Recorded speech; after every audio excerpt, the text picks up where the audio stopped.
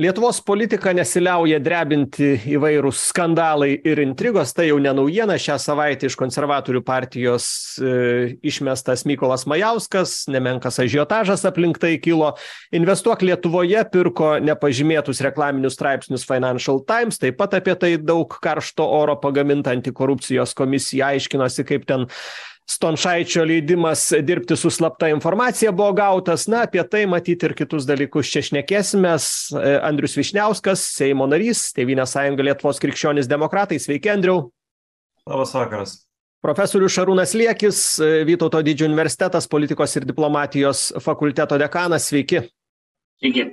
Vytautas dumbliauskas politologas mykolo riomerio universitetas ten dėstantis politologiją sveiki vytautai. Sveiki aurimai tai gal pradėkim andriau nuo jūsų ir pradėkim nuo skambaus prezidento nausėdos išsireiškimo. Konservatoriai pervažiavo volu per majauską. Kodėl pervažiavot volu? Na iš tikrųjų šita visa istorija apaugo įvairiom sąmokslo istorijom o istorija labai paprasta. Seimo ir biudžeto komiteto pirmininkas iš tikrųjų pasielgė labai negarbingai ir negerai. Paversdamas visą biudžeto diskusiją gero biudžeto diskusiją diskusija apie vieną pvm lengvatą kuri mūsų vertinimu mūsų frakcijos vertinimu nėra teisinga tame kontekste kokiame esame. Jinai galbūt yra vienas klausytojas pajuokavo atsiprašau kad jus nutrauksiu klausimas vertas padvėsusio viščiuko. Nu bet čia taip metafora buvo pasakyta. Jūs irgi manot kad klausimas toks buvo gana nereikšmingas bet bet visą ažiotažą sukėlęs.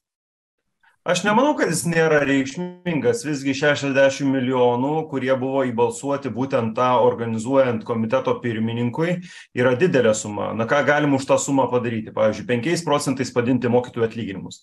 Ar tai yra maža suma ar nemaža? Vertinti matomai žiūrovams ir svarbiausia kad ta lengvata ta dalis kurios iš tikrųjų tos tos papildomo pusmečio nereikėjo jinai nueina šiaip jau ne smulkiam verslui. Jinai nueina eina apie tūkstančiui ganėtinai stambių tinklinių restoranų bet komiteto pirmininkas buvo užsispyręs ėjo vedė tą kovą telkė opoziciją telkė kai kuriuos koalicijos partnerius ir tokiu būdu padarė žalą. Mes turime suprasti kad seimo komitetų darbas yra ne kažkaip eiti į konfliktą prie prieštarauti vyriausybei eiti į opoziciją vyriausybei bet padėti. Tai yra integrali visos valdančiosios koalicijos dalis. Ir tai yra problema kodėl mes priėmėme sprendimą pašalinti mykolą majauską tiksliau mūsų priežiūros komitetas pašalinti mykolą majauską iš partijos kartu seimo narys neturi eit prieš vyriausybę. Iš principo tai yra komanda ir kaip sporte kaip krepšiny sakot na jeigu vienas žaidėjas žaistų kitai komandai tai jį greičiausiai treneris savo vartus.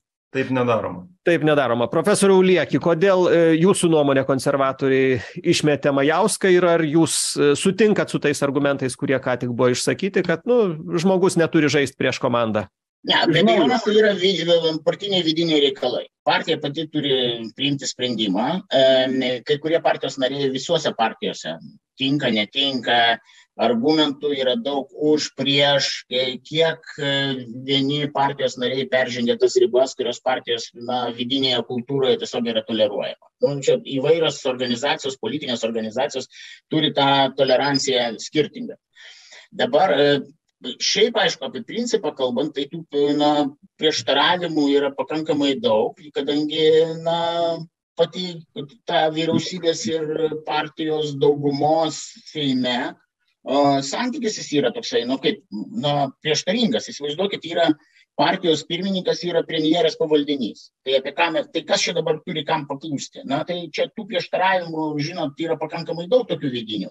Ar jūs norit pasakyt kad majauskas pašalintas nepagrįstai nepakankamai na nepakankamai adekvačiai ne jūs čia partijai spręsti ne ne ne jokiu būdu čia yra partijos sprendimas partija turi tokį sprendimą tokį teisę sprendimą priimti. Ir jinai tai padarė Bet, Jūsų bet, nuomonė, bet, kodėl bet, Majauskas buvo dabar pašalintas?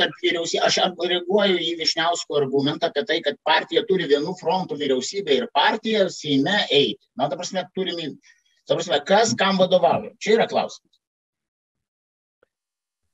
Kas kam vadovauja. Tai čia sakot ar ar parlamentas ar vyriausybė užduoda kam tai nu žiūrėkit čia aš ne nesutinku šit su šituo argumentu tai gerbiamas liekis bando pasakyti kad vyriausybė turi partijai vadovauti aš ne neturiu to pasakyti bet aš nesakau kad žiūrėkit nu jūs čia savo galit labai teoriškai išvedžioti išvedžioti nežinodamas nei tai kaip iš tikrųjų viskas e, vyksta ir kaip mes bendraujam viduje. Yra viskas ganėtinai integralu mes turim nuolatinius pasitarimus derinam pozicijas ir panašiai. Šiuo atveju buvo vieno asmens noras kažką tai padaryti padžiazuoti arba turėti savo poziciją. Ta pozicija buvo ilgai šlifuojamas pusę metų dalyvauja visuose biudžeto derinimuose derybose ir kituose dalykuose nus nusprendė visgi eiti su opozicija organizuoti kažkokį tai maištą. Partija turi teisę įvertinti tai frakcija turi teisę įvertinti tai ir buvo a padaryta. Daugiau jokių dalykų už to tikrai a daugiau sakot nėra už to nieko bet vytautas dumbliauskas mūsų pokalbio klauso vis dėlto pone dumbliauskai jūsų nuomone kodėl šitas konfliktas kilo tarp e, partijos iš vienos pusės ir mykolo majausko. Vat kokia priežastis galėjo jį sukelti nes daug visokių spekuliacijų kad ten kažkokio posto negavo kad kažko dar nepasidalijo. Vat jūsų nuomone kodėl būtent dabar vat ir mykolas majauskas taip e, kietakaktiškai ėjo į konfliktą ir iš kitos pusės ir partija kaip andrius vyšniauskas sakė nu neturėjo kito kito varianto iš esmės.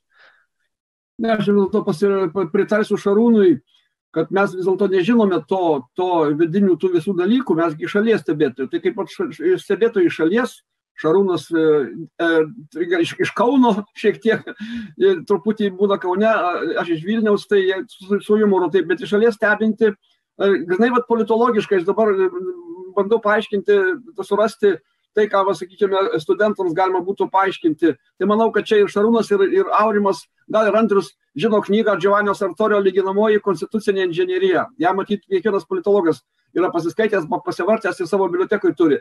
Tai vat man dabar įstrigo beklausant sartori mintis toje knygutėje kad kad parlamentinėje sistemoje tokios griežtos ribos tarp parlamento ir ir vyriausybės nėra. Iš esmės parlamentas ir vyriausybė yra kaip vien kažkoks vientisas organizmas kadangi vyriausybė gauna mandatą iš iš parlamento iš parlamento daugumos ir turi dirbti kaip kaip kartu. Čia tada iškyla ir čia pasiremsiu kitu politologu morisu diuveržė prancūzų kuris seniai seniai gal prieš kokius septyniasdešim metų parašė žodžius tokioj knygoj garsioj le système politique français prancūzijos prancūzijos politinė sistema kad yra toks reiškinys kaip parlamento daugumos galia ir ta ta galia kyla iš drausmės.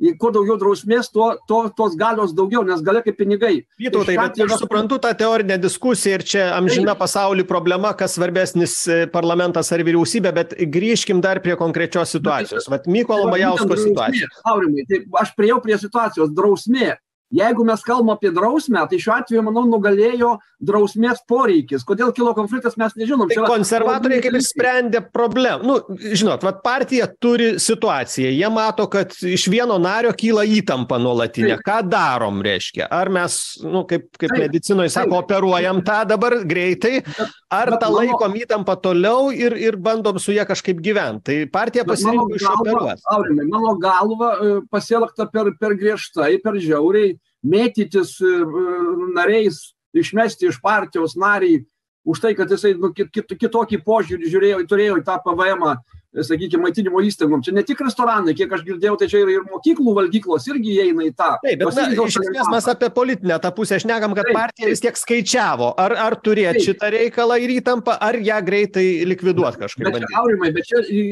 kyla kaip pavyzdys rolando pavilionio žilvino atsiprašau pamiršau vardą žygimanto pavilionio. žygimanto jo žygimanto tėvas rolandas atsiprašau.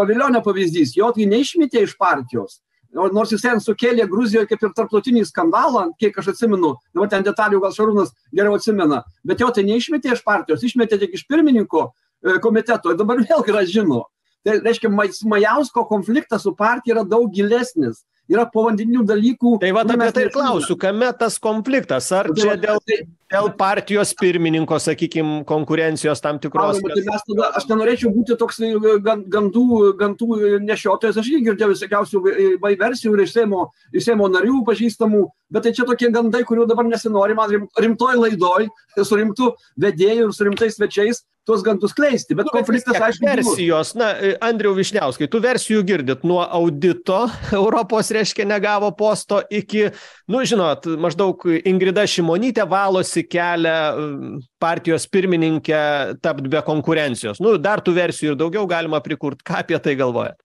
Tai keli mo momentai. Pirmas dalykas lyginti šitą situaciją su a žygimanto pavilionio situacija galima bet tai yra truputį nepalyginami dalykai dėl paprastos priežasties taip pat kaip ir žygimantui pavilioniui frakcija ir partija mykolui majauskui iš pirmiausia pateikė pasiūlymą pasitraukti pačiam iš komiteto pirmininkų ir žygimantas pavilionis įvertinęs visas aplinkybes tą sprendimą padarė.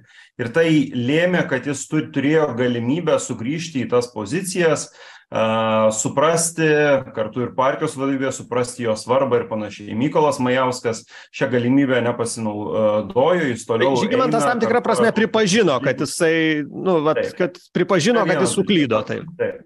Dabar kalbant dėl audito rūmų šimtu procentų aš neabejoju kad tai yra susiję nes visa šita pekla buvo pradėta virti būtent po to sprendimo. Kai prasidėjo biudžeto planavimas tuo metu buvo daugiau mažiau ir tie sprendimai na padaryti ir visa šita problema na užsikūrė. Tai aš neturiu abejonės jūs kaip politikas manot kad šita versija kad žmogus kerštauja už tai kad negavo aukštos pozicijos europoj šimtu procentų kadangi pažįstu mykolą ganėtinai senai vienas dalykas. Kitas dalykas kalbant apie čia kažkokį apsivalymą artėjant partijos pirmininko rinkimams tai aš tik noriu pasakyti kad partijos iki partijos pirmininko rinkimų liko su puse metų. Tai šiandien kalbėti apie galimus kandidatus yra man atrodo praktiškai beprasmiška dėl paprastos priežasties todėl kad bus dar treji ne keturi rinkimai iki tol. Savivalda prezidentas europos parlamentas e seimas ir panašiai. Tai per ankstyvas klausimas šitas sakykim kiek žmonių išvažiuos į europos parlamentą ar kažkokios kitos pozicijos ir panašiai.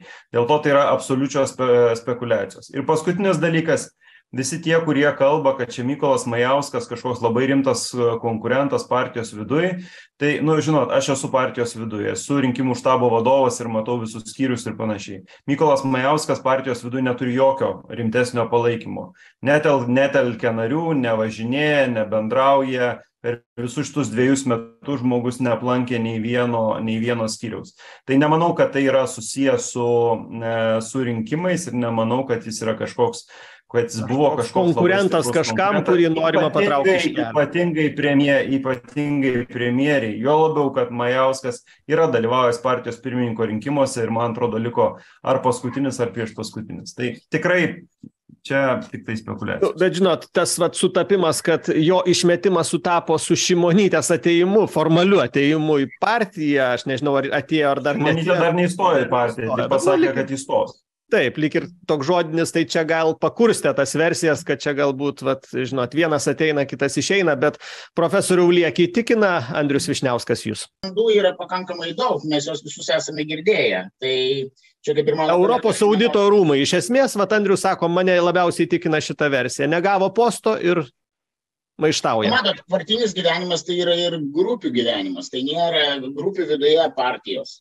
gyvenimas. Tai ta prasme dabar su kokia grupe tapatinosi majauskas tai nėra jisai palaidas narys kuris na nuklydęs į partiją Na, tai jokia grupė nes. Nebuvo nei, tai, sakykime, to vadinamo krikdemiško flango, nei liberalaus flango. flango kito konservatorių nariaus, na, partijos nario paklausus, išgirstume kitokį atsakymą, ko gero, bet dabar gerbiamas. O su kokia profesorių jūsų nuomonė jis tapatinosi, nes aš irgi šito nežinau, su kuo jis tapatinosi. Ne, nu aš dabar nenoriu, kaip ir mano kolega, nenoriu gandų skleisti, bet... E, Tai pasakykite, jeigu žinote. Vyksta kova nu, tarp, tarp dviejų grupių, vyksta populiariai sakant kova tarp dviejų grupių ir šita auka yra paaukota šitoje kovoje na labai paprastai Nu, taip, palauk, tai, čia, čia labai svar, svarbu išsiaiškinti. Tai jūs norit pasakyti, kad Mykolas Majauskas yra, tarkime, krikščionių demokratų grupiai? Aš nieko Nes nesakau. yra dvi Aš grupės. nesakau. Jūs kaip Yra sakot, draugai, yra konservatoriai, yra krikdemai. prašau manęs nenutraukinėti. Jūs ne pirmą kartą tai darot, reguliariai. Įpratęs, Seime, aš suprantu. Bet čia yra Žiūrėkit, kolegos, eiga. pagarbiai, viskas gerai. Profesoriu, pabaikit mintį, sureaguosim. Tai yra, yra grupuotės ne vien formaliai einančios ten e, tuo pjūviu, ten kri- krikdemai, žodžiu, tikri konservatoriai, ten grinuoliai konservatoriai ir, dar, ir taip toliau. Ta prasme, yra ir kolegos, yra draugai, yra pažįstami, na ir buvę vadovai, su kuo dirbo Majauskas partijoje. Ta prasme, yra buvę vadovai, yra tos visos grupės, kurios įtakoja vieną ar kitą sprendimą, kadangi yra vis dėlto frakcija yra svar, svarbi partinėme gyvenime, jinai užduoda toną bendrai partijos struktūrai ir Majausko figūra yra šitame kontekste akivaizdžiai, kad jinai yra svarbi. Čia ne šiaip nuimtas, bet to yra komitetas e, e, bi- biudžeto finansų. Tai yra vis dėlto svarbus komitetas ir aišku, čia problemos kyla pirmiausiai vyriausybei, kadangi vyriausybė na, atsakinga už pinigų leidimą ir juos leidžia.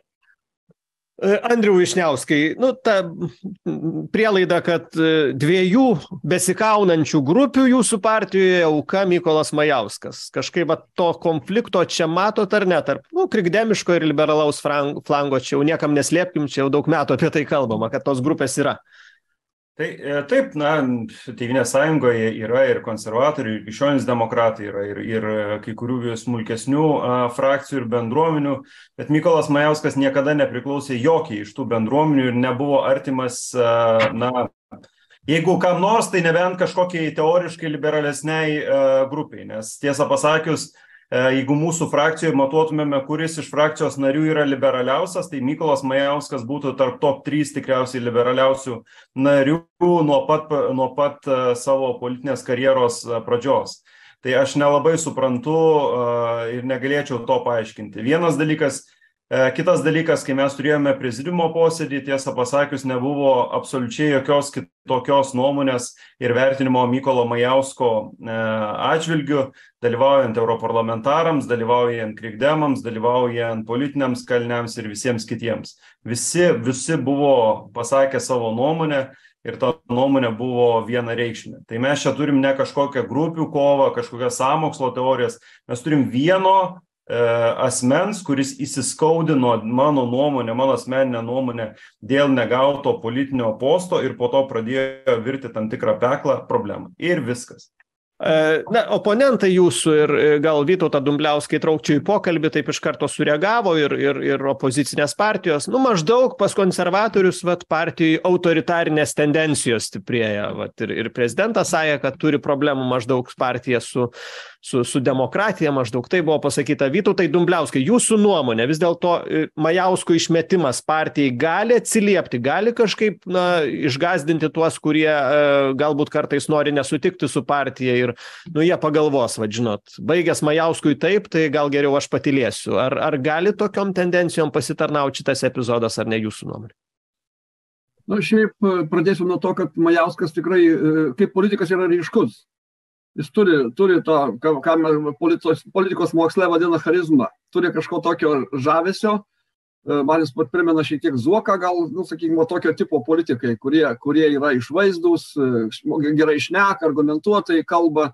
Nu, tikrai jisai lyderis, jis gali eiti į minę, man atrodo, ir stadione galėtų kalbą sakyti. Čia vat, yra tikro politiko požymė, nes čia, čia tokių ryškių politikų, kas įdomiausia, kad Tevinė sąjunga nelabai ir turi. Jos, pas juos daug yra mokslo daktarų, profesorių, protingų žmonių, kuriuos, kur daugelį pažįstu asmeniškai, bet jie neturi to, va, tos dievo dovanos, ko reikia politikui, kaip profesijai, tokio va, ryškumo.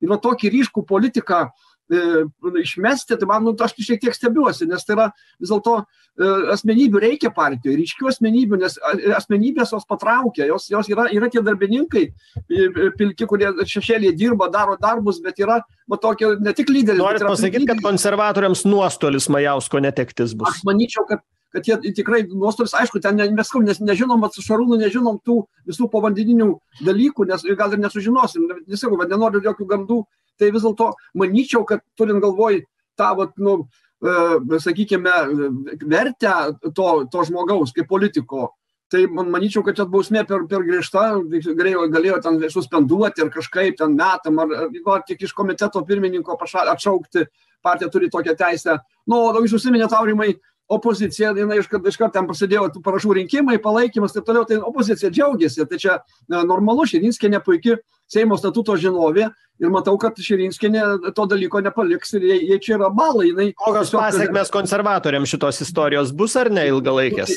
Įsivaizduokite jeigu bus dėl pasitikėjimo slaptas balsavimas ir galbūt yra ir tėvynės sąjungos frakcijoje žmonių kurie simpatizuoja majauskui ir jo ir slaptam balsavime gi nelabai patikrinsi tai jeigu toks būtų išreikštas pasitikėjimas nežinau čia gal andrius geriau žino seimo statuto subtilybes bet bet kiek aš supratau iš širinskienės bent viešai kad kad statutas leidžia e, arba netgi reikalauja seimo paskirtą pareigūną e, atleisti seimo seimo viso seimo balsavimu. Tai ar ar ar surinks tą septyniasdešim vieną balsą kad jie atleistų iš pirmininko posto čia klaustukas. Tai va tokie čia jau dabar parlamentiniai žaidimai normali parlamentinė kova. Reikia žiūrėt į tą ramiai opozicija turi išnaudoti tuos dalykus nes jiem tai yra reklama jisai parodo. Tačiau grįžtant prie to manau kad bausmė per žiauri ir ir ir tokia vat netekti ryškaus politiko aišku jisai jisai matyt dėl to dėl to ir nepaklusnus kad jis ryškus jisai jaučia savo vertę jo jį len sunkiau sutramdyti jisai yra nu jis yra toks kaip sako kaip nepririšta patranka. Yra tokie palyginimai mo moksle čia kalba apie apie vadybininkus kurie ateina privataus sek sektoriaus vadybininkai ateina į viešąjį sektorių ir juos vadina tokiom nepririštom patrankom. Jie gali tokių nes nu jie kitaip elgiasi. Tai tai čia aišku ne visai tinka bet bet majauskas yra tikrai e, nu jis turi jaučia savo vertę jisai asmenybė yra ryški jis žino tą savo ryškumą ir jisai ne nenori nusileisti nu savotiškai nu jis nukentės aišku dabar. Panašu andriau vyšniauskai vis dėlto dėl to kad nu partija nukentės ir e, nu gal apsiskaičiavo netgi partija su tokiu ėjimu nes jeigu opozicijos balsais majauskas liktų tada vėl tokia labai dviprasmiška situacija seime. E, kaip jūs prognozuojat kokie čia gali būt praradimai partijai ir ir kokios čia gali būt dar parlamente džiunglės po to Agnė Širinskienė moka skaityti statutą, bet tik priminsiu, kad statutą rašė Andrius Kubilius ir Jurgis Razma. Tai mūsų frakcijų žmonių, kurie moka skaityti statutą, yra e, šiek tiek daugiau ir, ir giliau išmanančių. Tai vienas dalykas. Kitas dalykas, seimo statutas numato bent penkis penkias procedūrų variantus kaip komiteto pirmininkas gali nebebūti komiteto e, pirmininku keistis komitetų sudėtys ir kiti dalykai. Tai manau kad kitą savaitę bus proga išsianalizuoti tas e, visas procedūras ir jas galbūt išbandyti. Kalbant apie e, tai ką daro agnė širinskienė manau kad čia yra pagrindinis klausimas ar į ar asmenys kurie pasitiki komiteto pirmininku gali inicijuoti nepasitikėjimą. Štai kur man atrodo esminis a klausimas. Nes tas nepasitikėjimas kurį inicijuoja agnė širinskienė sakydama kad ji pasitiki nu yra tiesiog nesąmonė. Tai yra netiesa tai yra melas ir manipuliavimas a seimo a procedūromis. Kaip jūsų nuomone majauskas gali išlikti savo pozicijoj ar ne? Vis dėlto čia ne sakot aš e, tikrai nesugrečiančiau to pavyzdžiui kaip su seimo pirmininku kaip buvo su viktoru pranckiečiu. Tai yra visiškai kitokios pro procedūros komiteto pirmininko ir neturiu abejonės kad mykolas majauskas neliks komiteto e, pirmininku profesoriau lieki kaip čia gali viskas būt ateityje jūsų galva ne tai opozicija viską darys. Aišku kad pasiekti žodžiu sumaišyti kortas valdantiesiems e, bus tai daroma. Dabar ar tai pavyks nepavyks čia yra visiškai kitas klausimas. Vien bandymas yra pakankama priežastis e, sunerimti nes rezultatas e, nebūtinai turi būti net ir teigiamas viešųjų ryšių prasme. Čia tiesiog pabandymas ir įvedimas į tam tikrą aklavietę konservatorių partijos sprendimų tai opozicija tuo situacija naudosis bet andrius vyšniauskas tikras kad neliks pirmininku majauskas. Ne jie turi nu be be abejonės. Aš galvoju net būtų tikslinga sakykim kažkurioj vienoj ar kitoj laidoj turbūt pas jus net su tuo pačiu majausku pasišnekėti visais šitais klausimais. Tai nes kaip sakant kolegos kurie dirbo kartu ilgą laiką aišku turi savo tenais nuomonę bet būtų tikslinga paklausti pačio majausko ką jis galvoja ką jis galvoja aš bandžiau prieš porą dienų pa pašnekint bet e, taip nėra galimybės labai lengvai dabar pasikviesti į laidas suprantu jį daug kas kviečia bet e, sakot reikia reikia jo paties klaust tas tiesa gerai na kas bus su majausku pamatysim. Dabar darom trumpą pertraukėlę. Andrius vyšniauskas seimo narys šarūnas liekis politologas vdu profesorius vytautas dumbliauskas politologas mykolo riomerio universiteto dėstytojas. Grįšim netrukus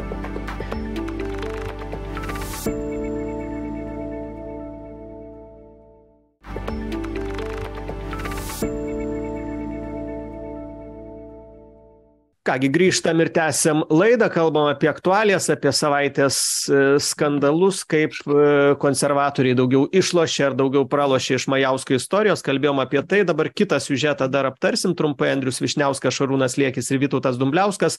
Nu profesorius liekis šią savaitę taip kategoriškai ir karštai sureagavo į tą financial times visą istoriją investuok lietuvoje. Primin nu čia daug daug visi turbūt kas domisi politika žino apmokėjo už tekstus financial times.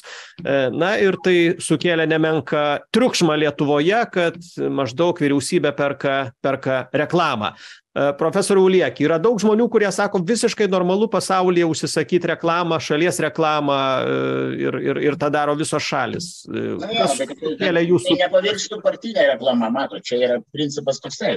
Ir ta prasme ne ne skandalai iššaukė ne mano reakcija aš tiktai vienas iš tų kuris sureagavau. Ta prasme žmonių labai daug kurie sureagavo ir kolegos užsieny labai stipriai daug kas sureagavo noriu pasakyti čia daug kas sureagavo taip kad iš kolegų užsienyje pavardžių nei šalių neminėsiu kad na savo laiku skųsdavomės kad putinas perka spaudą vakaruose tai dabar per perka kai kurios rytų centrinės europos valstybės kurios naudoja realiai tokius pačius metodus populiarinti savo politikai arba įtikinėti kad jų politika yra teisinga.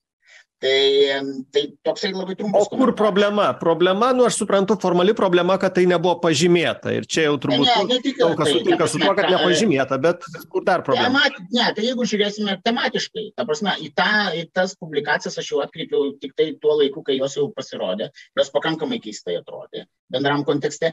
Ir jas atkreipė tarp kitko dėmesį visa eilė užsienio žurnalistų kuriems labai jos keistos pasirodė. Ta prasme nenatūraliai nekritiškos kitaip sakant na visos žurnalistika ir yra tai kad jinai yra kritiška ne? O čia šiuo atveju jinai nebuvo kritiška ir paskui aišku tenais nu paskui prasideda aišku tos diskusijos kodėl mokėta ir kodėl žurnalistas gauna tiktai gal dešimtadalį to kas buvo sumokėta už viešųjų žodžiu už viešosios informacijos paketą ane? Tai žodžiu tų klausimų labai daug kam kilo ir tos blogos praktikos kurios egzistuoja lietuvoje labai blogai kad jos pernešamos ir į užsienį. Ir ta prasme ir žmonės tenais į tuos dalykus atkreipia dėmesį nu žinot pone vyšniauskai taip galima buvo daug čia apie tai skaityt ir ypač socialiniuose tinkluose. Kritikai sako nu maždaug gėda lietuvai gėda valdžiai gėda kad žinot už pinigus į save atkreipė dėmesį. Ką jūs atsakytumėt taip manantiems? Na man keista girdėti tokius priekaištus nes tie kas skaito financial times wall street journal economist ar dar kažką gali pastebėti kad kiekvieną savaitę ten yra visokiausių reklamų vienos šalys reklamuoja savo laisvąsias ekonomines zonas kitos šalys pasakoja apie savo turizmą trečios šalys apie dar dar kažką. Tai tai kad yra perkama kažkokia tai reklama turinio projektai aš tame nematau problemos aš matau problemą galbūt dviejuose dalykuose. Vienas dalykas yra tai kad kaip bebūtų keista financial times akivaizdu kad neturi tokių pačių politinės ne politinės bet kažkokio užsakomosios reklamos žymėjimo standartų kokius jau turi netgi lietuva kai viskas iš esmės nu lietuvoj tai būtų įstatymo pažeidimas. Iš esmės jeigu apmokamas turinys nepažymėtas vienas dalykas kitas dalykas kur aš matau labai didelį broką tai yra tos pačios investuok lietuvoje jeigu visgi tu turi perki turinio projektą tu pirmas dalykas turi kontroliuoti kas ten atsiduria. Kai kurie straipsniai kurie kaip supratau buvo inicijuoti to paties financial times na man irgi atrodo kaip ganėtinai keisti ir jų galėjo nebūti. Aš sutinku su ekonomikos ministre jeigu tai yra rašoma apie verslą investicijas lietuvoj ir ir panašiai. Tame aš nematau jokių problemų. Vienas dalykas. Kitas dalykas na ir tų straipsnių korektiškas pažymėjimas irgi tenka tam kuris užsako paslaugą. Tai aš čia matau tam tikrą investuok lietuvoje problemą juo labiau kad yra akivaizdu kad jie kai kurių institucijų taip pat neinformavo nes nes tos institucijos nebūtų reagavę į tuos straipsnius taip kaip sureagavo vytautai dumbliauskai jūs matot čia problemą ir jeigu matot kame šitam visam šaršale dėl nepažymėtos reklamos? Čia aš nesu specialistas tų dalykų bet tiktais tiek kiek aš skaičiau pavyzdžiui savo feisbuko juostoje ten daug yra politologų ir ir ir analitikų. Nu tas pats marius laurinavičius pažįstamas visiems jisai jisai kaip tik vertina teigiamai čia sutinku su andrium čia galbūt atlikimo būdas gal čia pre pretenzijos investuok lietuvoj bet jau pats faktas kad tai investuok lietuvoj tą dalyką darė. Tai tai jos ir paskirtis tos agentūros kad jinai didintų investicijas. Tai tai šia prasme reklama yra yra reklama o kaip jinai kaip jinai atlikta tai yra nu galima oponentai sako pasinaudojo pasigirt maždaug vyriausybė. Kaip jums bet kartu bet tai kartu ir didina žinomumą. Mes turim galvoj kad ne nepamirškim kad dabar daugelis investuotojų bi bijo į lietuvą investuot kadangi bijo kad gali būt karas. Mes gi labai arti karo zonos. Įsivaizduokite amerikiečiui kokiam ten ispanui tai mes gi esame pra praktiškai prie pat kariaujančios šalies užpultos turiu galvoj ukrainą. Tai šiuo požiūriu manau kad bet kokia reklama bet koks lietuvos propagavimas yra gerai ir ir sakau dėl formos galima čia diskutuot ir gal andrius teisus yra priekaištų ten visur lietuvoje bet aš manyčiau kad čia kad čia yra nu normali praktika. Kitos valstybės tą daro tai kodėl mes turim nedaryti nu raimundas kuodis man atrodo rašė tą kaštų naudos analizę. Jeigu mes nu investuok lietuvoje gi darbas investicijas pritraukinėt tiesioginę funkciją skatint gerą vardą gerą įvaizdį kad ateitų investicijos nes ką jūs sakėt vytautai ir ir ir karo tas momentas čia gi niekam ne paslaptis kad atgraso nuo nuo tam tikro investavimo ir ir bendrai gi ir ta mūsų ekonomika labai persiskirsto nes nu jau nesam ta tradiciškai pigios darbo jėgos šalis kokia buvom ten ar siuvyklas pritraukėm į regionus investicijas. Dėka tiesiai sakykim kad pigi pigiau žmonės dirba čia dirbo dar kurį laiką. Dabar jau to privalumo ar trūkumo neturim. Algos paaugo ir ir aišku tas koridorius ypač vežėjam labai jautrus. Rytai vakarai irgi jo neliko tokio žinot kur mes aptarnaudavom labai gerai ten iš iš rytų į vakarus krovinius vežiojom ir ekonomikai ar geležinkeliai ar ar ar pervežimai turėjo naudos. Vėlgi karas čia aiškiai pasakė kad na žaisti tokiais dalykais neturim ir ir ir dalis pramonės vėlgi liko liko ant suskilusios geldos. Tai kad pritraukt investicijas reikia ir tai yra tiesioginis ekonomikos ministrės ir tuo pačiu investuok lietuvoje darbas tai matyt kuo daugiau to reikia bet na ar ar turinys tas vėlgi nė nėra visi ten pradėjo klaust o gal čia taip šimonytė siekia nato generalinės sekretorės kandidatūrą sustiprint? Nu vat žinot klausimų tokių kyla bendruomenėj andriau ir ir ir kaip jums atrodo visa šita istorija? Ar nu investicijų pritraukt tikrai reikia bet ar ar tas turinys kad jis pritrauktų investicijas paduodamas na aš na sutinku dėl naudos pamatavimo tas turi būti. Aš tikiu kad investuok lietuvoje turi vidinius mechanizmus kaip tą daro kaip įvertina kiekvieną reklaminę priemonę aišku reikia suprasti kad ta investicija į į financial times kelių dešimčių tūkstančių eurų šiaip nėra didelė suma. Tai yra pakankamai pakankamai nedidelė suma tokiam leidiniui. išmanantys tai buvo šiek tiek šokiruoti sakė ar čia tikrai tokio masto mokėjimai nu ar čia gal čia vos ne pirmas toks tik mokėjimas ar čia tikrai už viską tiktai tiek. Bet bet nu palikim aš nesu tų dalykų išmanantis sakykim kainos momentai ne tiek čia turbūt tai tikrai nėra didelės sumos. O kitas dalykas na aš ko labiausiai nesuprantu to argumento kad čia ne neva vyriausybė bando a vos ne šalies vidaus auditorijai kažkokią tai politinę reklamą daryt na aš nematau problemos jeigu vyriausybė sako kažką kad pas mus yra geras investicinis klimatas geros sąlygos mokesčių reformos kiti dalykai. Tą sako užsienio auditorijai kur iš tikrųjų lietuvos reputacija gali būti stipresnė geresnė galim pasiekti tam tikrų užsienio politikos tikslų ir panašiai. Aš čia nematau jokios problemos dėl ko? Todėl kad na visos valstybės tą a tikrai a vienaip ar kitaip daro. Iš moka už reklamą. jeigu reklamuoja sakykime mes turime stengtis ir žaisti tom pačiom taisyklėm. O vidaus auditorijai tai vėlgi man atrodo kaip ir sakiau problema yra investuok lietuvoj lietuvoje kad jie na galbūt ne iki galo arba ne laiku paaiškino kas per projektas yra ir kodėl jis vyksta. Nors aišku tas daug kam sukėlė tokio gal ir pykčio. Nu maždaug kaip jau viskas kilo nieko mes nežinojom. Ekonomikos ministrė nežinojo vyriausybės nežinojo žmonės. Nu bet toks irgi žmonėms žinot klausimas andriau nu kaip čia taip visi visi nežinojo kad čia už pinigus kad čia tokia reklamos sakykim intencija labiau negu negu negu straipsnis interviu investuok lietuvoje yra atskira ir autonomiją turinti agentūra turinti savo valdybą ir visus kitus dalykus turinti savo atskirą biudžetą turinti e, savo uždavinius ir tikrai e, nebūtinai jie informuoja apie kiekvieną savo daromą veiksmą ministeriją ar juo labiau vyriausybę.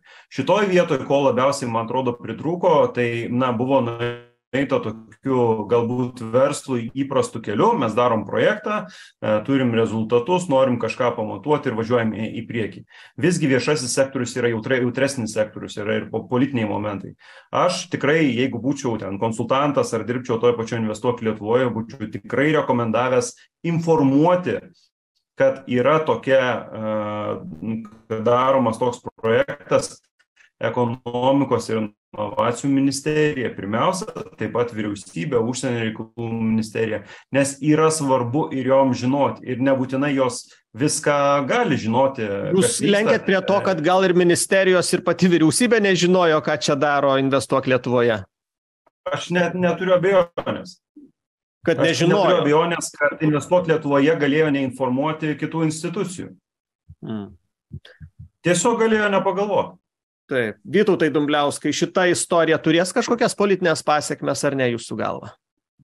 Nemanau. Čia čia tokia išpūstas man toks jausmas išpūstas dalykas. Čia iš tikrųjų nu socialiniuose tinkluose gana aktyviai aptarinėjamas tai matyt tai auditorijai jaunesnei gana gana svarbu. Matyt iš iš iš karo baimės net žmonės bijo galvot apie karą nes nes bijo mirti ir tada jie imasi tokių vat visokių pro pseudo problemų ten eglės problema kažkokia.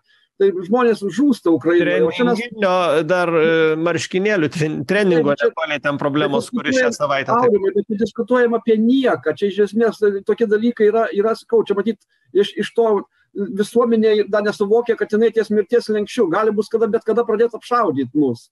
Jeigu putinas išprotės toliau taigi iš baltarusijos pavyzdžiui vilnių apšaudyti tai yra vienas juokas. Čia yra penkiasdešim šešiasdešim kilometrų. Nereiks net net toliagių tų e, prietaisų. Tai čia va tokie man man tokie nu nerimta vis dėlto nerimta. Šalia žūsta žmonės kenčia tauta. O mes su tokiom nesąmonėm užsiiminėjam kad net kartais kartais galvoji jėzau jėzau čia tik ne nebent iš mirties baimės nes mir mirti tai bijo visi ukrainiečiai miršta o mes va tik bijom ir ir tokias tauškiam da dalykus apie kuriuos net net na sarmata prieš ukrainiečius kad mes dėl tokių dalykų čia in investuok lietuvoj sakykim klaida veiklos galima ten su jais pa pa pa pa pakalbėti ministerija taip toliau čia čia manau koordinavimo problema. Čia sena problema kiek yra parašyta magistro darbų apie valstybės institucijų koordinavimo problemą.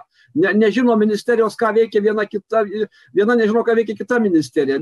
Nors ministrai atrodo sėdi posėdžiuose kiekvieną savaitę bet bet tai dirba gi ten šimtai žmonių kurie ne neinformuoja vieni kitų.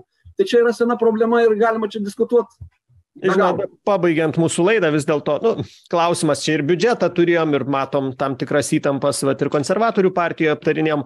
E, vytautai dumbliauskai mes turim stiprią vyriausybę politiškai stiprią e, ta prasme kad nu žinot ką sugalvojau tą galiu padaryt. Ar ar mokesčių klausimais ar ar ar kokiais kitais klausimais. Ar vis dėlto manot kad šiandien ta situacija kai apie stiprią vyriausybę nelabai galim tvirtai kalbėt ne aš manau mes turim stiprią premjerę tai čia faktas jinai tikrai eis eis dar darys tai ką jinai mato mato esant reikalinga nes jinai jinai atėjo ne dėl kažkokios karjeros politinės o jinai atėjo tiesiog likimas lėmė tokiu metu būti lietuvos ministre pirmininke jinai dirba ir dirba negalvodama apie savo politinę ateitį. Jinai gali mest žinot vis tiek vienas lauke kad ir premjeras ne karys reikia palaikymo ir tai- koalicijos tai- tai- partnerių ir seime tai čia aurimai tai turime tu turime stiprią premjerę bet turime minimalią daugumą seime.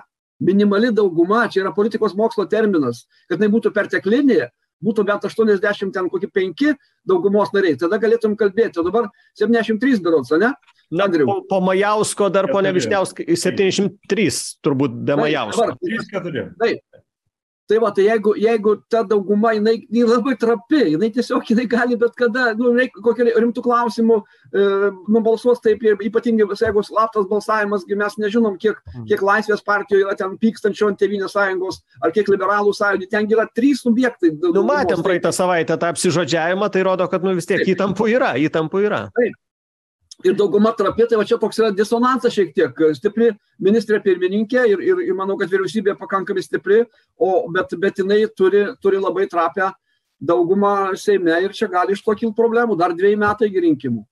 Andriau vyšniauskai kokios konsistencijos šiandien vyriausybė jūsų akimis na aš galbūt kitaip pažiūrėčiau. Aš šiaip manau kad e, kuo dauguma yra trapesnė ir mažesnė tuo iš tikrųjų galima pasiekti daugiau darbų todėl kad susitelkimas yra didesnis. Jeigu mes turėtumėme perteklinę vyriau vyriausybę aštuoniasdešim balsų ar panašiai taip galbūt tam tikrais atvejais būtų lengviau dirbti ministram lengviau išvažiuoti ar seimo nariam į komandiruotes nereikėtų tokios mobilizacijos. Ta prasme frakcijos vadovybei tikrai būtų sakau nuoširdžiai lengviau dirbti mum būtų lengviau dirbti tačiau tai keltų kitų matomai klaus klausimų daugiau galbūt diskusijų frakcijoj koalicijoj ar kitur. Tai šita dauguma jinai leidžia turėti didesnį susitelkimą.